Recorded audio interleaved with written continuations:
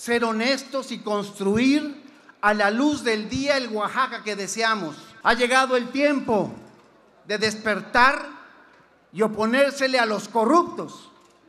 Que ellos sepan que tenemos los pantalones bien puestos para hacer cumplir la ley y el orden. Senador Benjamín Robles Montoya, tercer informe de actividades.